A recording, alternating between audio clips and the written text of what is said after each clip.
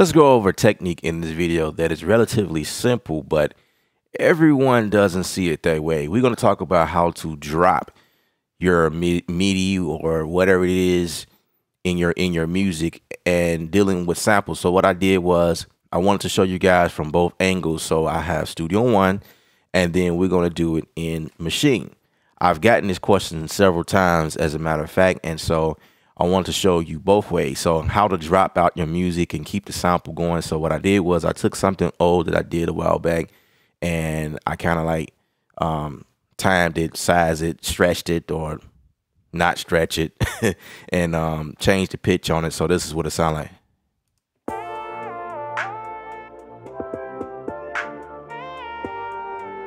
So we can create something very simple from there. Um, this is my Maschine track.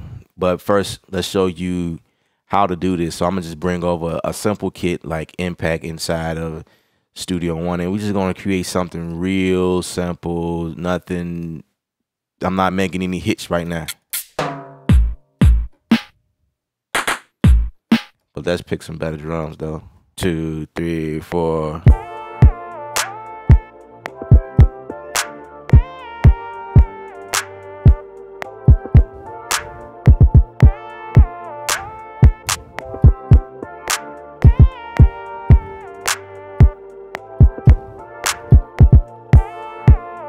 Right? So that's me creating drums on top of the sample like most people do when dealing with samples. I don't really deal with samples that much, so I kind of stay away from it.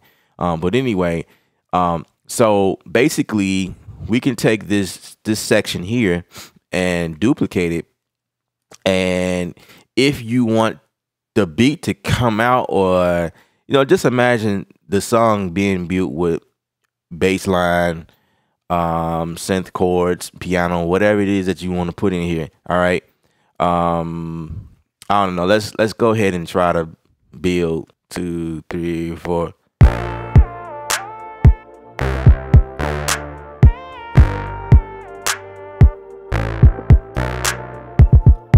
Let's fix the last one. I thought I had it, but I didn't. All right, so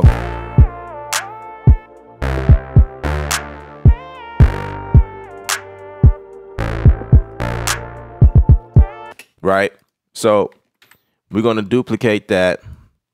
And so when we're dealing with MIDI notes, this is all you have to do when dropping something out. So I'm going to go ahead and fast forward to the end of it.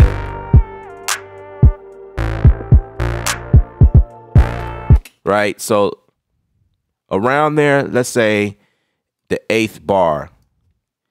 All I'm going to do is delete the MIDI notes. Or what I could have did was just pull back the, the MIDI region itself all the way to the eighth bar and do the same for this one as well. You know what I'm saying? So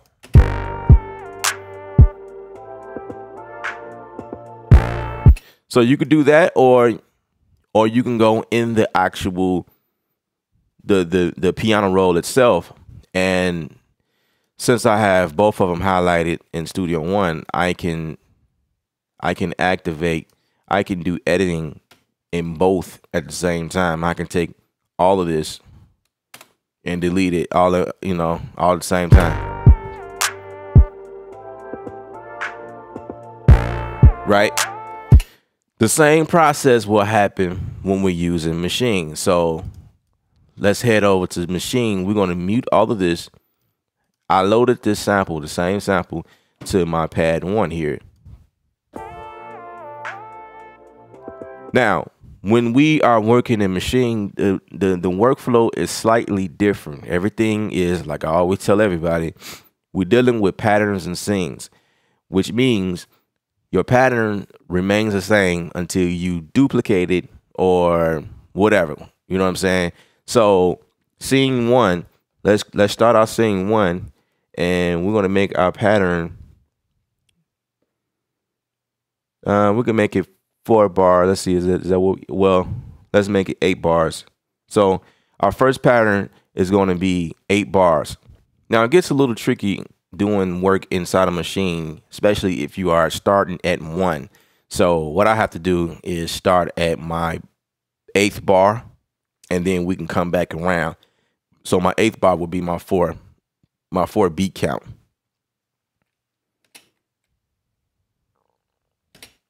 So let's turn on. So let's activate my metronome. Let's see. Two, three, four.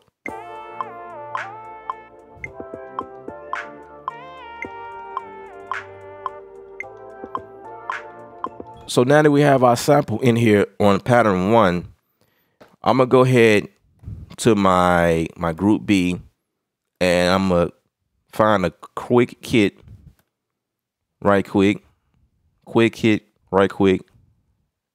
Did that make sense?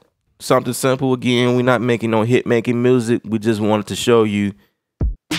We're gonna work with that. Something like that. All right. So Again, we're to start at our eighth bar here to activate our four counts. So two, three, four.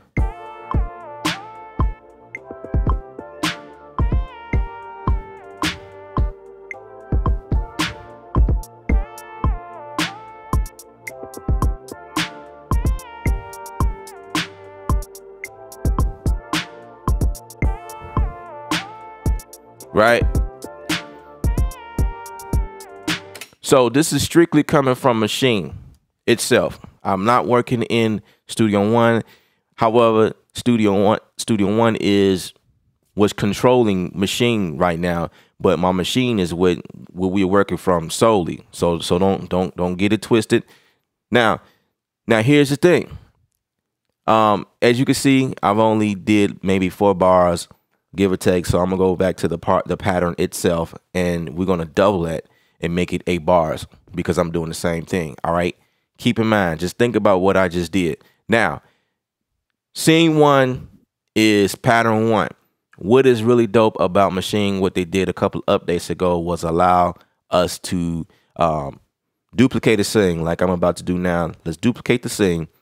And the thing used to be was you have to always remember to go back and duplicate your pattern as well. But what they did was they added a button called unique right at the top, which gives me the ability, unless uh, I'm going to zoom out so you can see that. See, pattern one, pattern one. Both scenes has pattern one. In fact, it says scene one, scene one. They both reflect the same thing. It's just duplicates of the same thing, making it longer. That that's all it is. It's the same exact thing.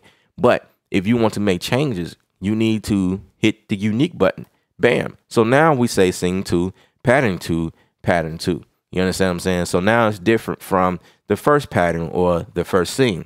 So now we can make an adjustments and not worry about messing it all messing it all up like like before because you had to remember to go go back and do certain things, right? So now let's do what we did before in Studio One, but let's replicate the idea in Maschine. So if we go back to our first scene, so let me turn off the loop. I have the loop on here. Right. So in Maschine, now I can go to my my pattern and I could do what, what you saw me do before in in uh, Studio One. So I'm gonna go at the eighth bar and delete all of that at the eighth bar, right?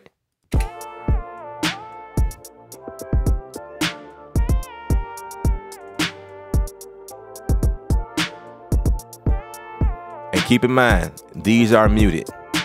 They have the mute button on it.